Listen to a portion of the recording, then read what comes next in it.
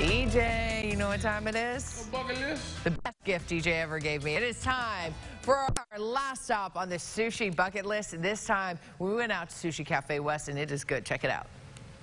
Guys, I'm sad to report this is the last week of sushi, but you got a whole list in AY Magazine. If you have not seen this list of all the best places of sushi all around Arkansas, you are missing out. But we cannot stop this without stopping at Sushi Cafe.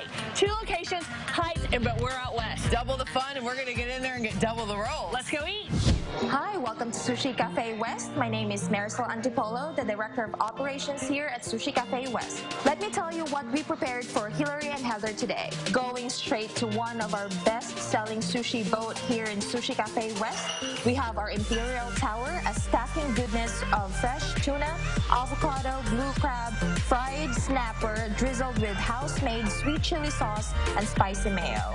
Next up, we have a sunflower roll it's got blue crab, cream cheese, avocado topped with crispy fried onions, definitely one of our customers' favorite. It will not be Sushi Cafe without our famous The Bomb roll. It's got spicy crawfish, avocado, crab stick, cream cheese. For all the fried sushi lovers, this will be your best bet. We have our Hawaiian tuna bowl. It's got tuna, masago, mango, fresh jalapenos, cucumber, and red onions. It's definitely one of our best selling here at Sushi Cafe West. And all of these amazing rolls are prepared by one of the most famous chefs here in Little Rock, none other than sushi chef Ray Antipolo.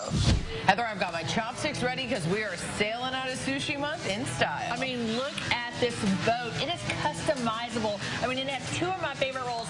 We have the Bomb and Pinnacle Mountain. We even have an Arkansas roll, Imperial Tower.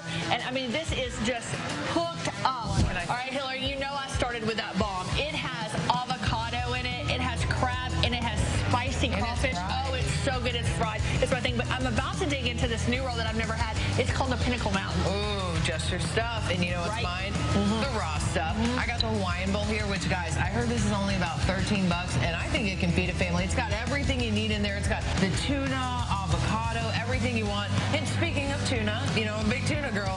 Check this out. This oh, is so their ahi tuna, and y'all, it has this ginger garlic sauce.